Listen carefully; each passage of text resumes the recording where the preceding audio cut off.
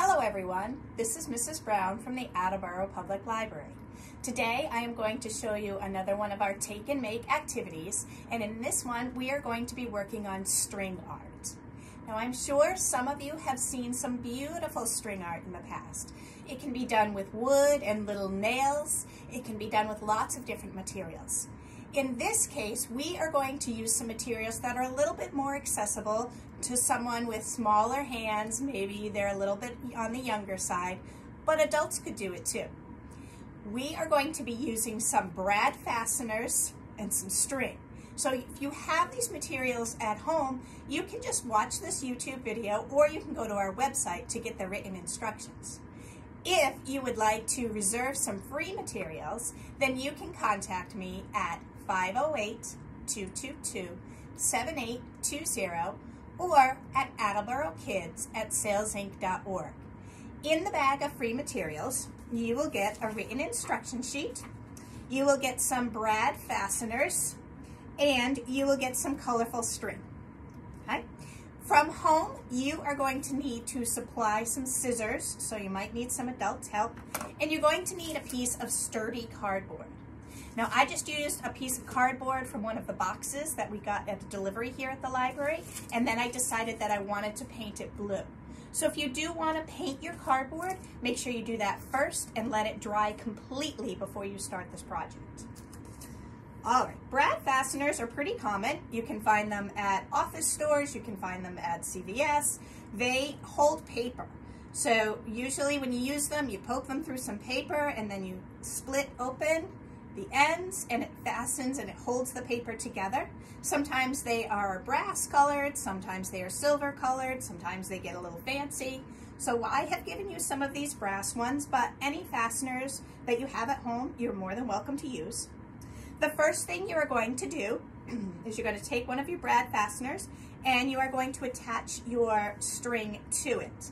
Just put a little knot so that the string doesn't come off the brad.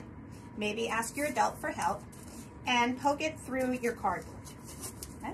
And then when you flip the cardboard over, you split the two little metal prongs, and that's how the brad stays attached to the cardboard, right up there.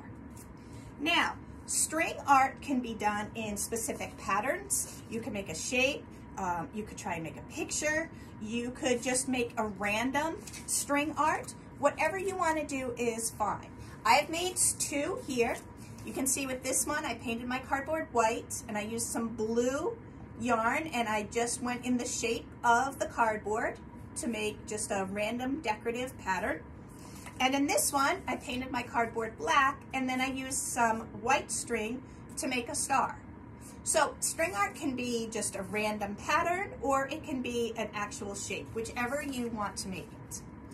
Once you have your first brad in, that's when you need to decide, are you going to make a shape? Are you going to make a picture? What are you going to do? That's when you start adding your brads. I put them in maybe about half inch apart into my cardboard and they'll go right through the cardboard. And I just line them up like this. I'm not gonna fasten them quite yet because I want them a little loose so that when I take my string and I go and I thread them over and under and I put them around the brads. They're a little bit loose. So you can see I'm just starting to make a straight line here with my string. And then when I know I'm done, then I'm going to fasten them to keep them tight. So just keep that in mind. When you are done, you need to fasten these brads so that your string doesn't come out. If at any point you want to change your color, you can just have your adult, or you can work on a knot, tie it off, cut the extra off, and then add the next color. So you can make multiple colors with your string art. I hope you have fun creating this. It can be anything you'd like it to be. It can be as many colors as you'd like it to be. And I would love to see some of your finished products. So if you want to send me some photos, I would love to see them. Thank you for joining me. I will see you again next time and have fun making your string art creation. Bye-bye, everyone.